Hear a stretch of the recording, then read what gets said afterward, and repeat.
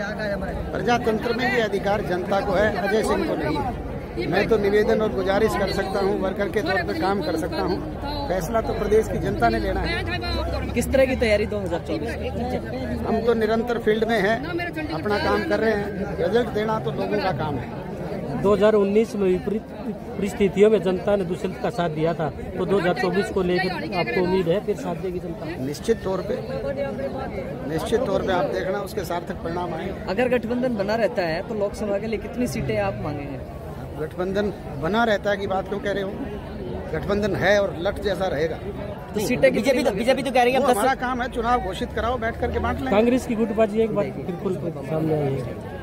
जो पार्टी 10 साल में अपना राजनीतिक संगठन खड़ा नहीं कर पाए तीन तीन अध्यक्ष बदल गए पाँच पाँच प्रभारी बदल गए रोज़ाना जूतियों में खीर बढ़ती है वो सपन देखती है सत्ता में आने के?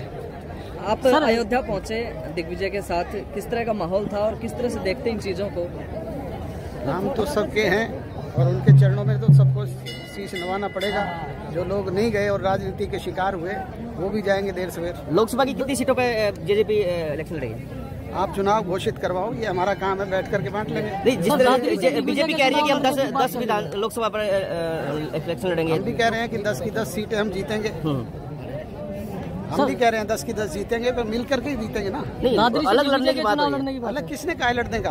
बीजेपी कह रही है हम दस पे लड़ेंगे। किसने कहा है? अलग लड़ने का किसने कहा है? वो बताओ ना मुझे वो कोट करो आप। तो राव साहब दादरी से चुनाव लड़ने की लोकसभा चुनाव लड़ने की जो बात की जा रही है है संसदीय जी जी। भिवानी से सर? हाँ। दिग्विजय की जो चर्चाएँ चली हुई है कि या आप लड़ेंगे या दिग्विजय कानूनी दिक्कत दूर हो गई तो मैं लड़ लूँगा नहीं दिग्विजय को लड़ा लेंगे।